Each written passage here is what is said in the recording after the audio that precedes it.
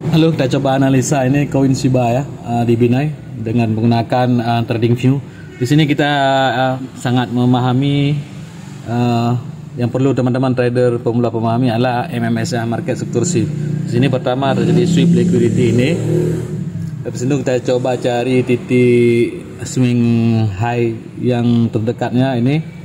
Artinya ini di break di terjadi displacement candle ini di break dengan uh, displacement artinya dengan candle besar dengan fullnya ini ini jadi MMS habis ini koreksi.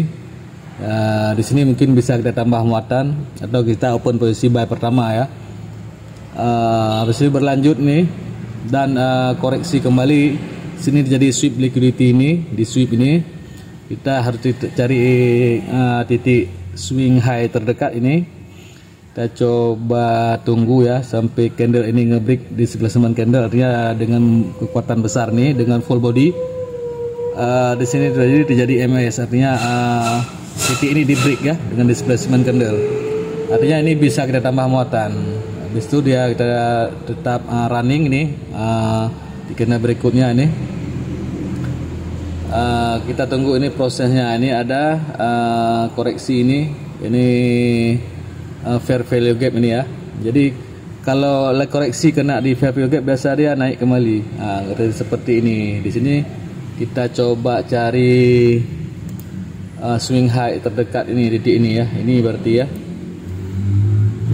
Swing high ini berarti kalau ini bisa ditembus ini terjadi uh, market strukturasi kembali habis itu kita tunggu koreksi berikutnya di sinilah kita dicek atau kita tambah muatan ya tapi kita juga hati-hati dulu ini apa eh, kita sabar menanti apakah ini bisa di break? Kalau nggak bisa di break uh, artinya uh, ada potensi penurunan koreksi kembali uh, ke titik ini mungkin. Uh, tapi ini kalau analisa saya dia akan uh, kembali naik ya. Uh, di sini kita bisa lihat ini lagi running nih. Uh, sinilah beginilah proses uh, kita open posisi ya kita tunggu dan tunggu ya. Kita melihat candle demi candle.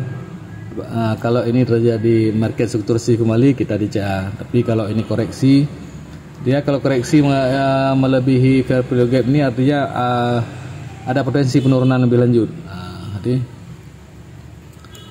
kalau kita ukur ini Fibo ya.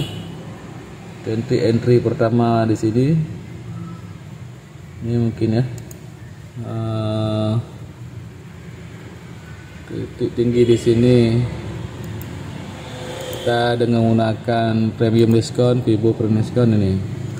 Artinya kalau memang naik di, sampai di sini dia koreksi mungkin sampai di sini. Karena di bawah ini area diskon ini area uh, premium ya. Artinya ini memang titik jual untuk uh, sekilas pertama. Kalau memang uh, ini koreksi lebih dalam artinya kita uh, take profit aja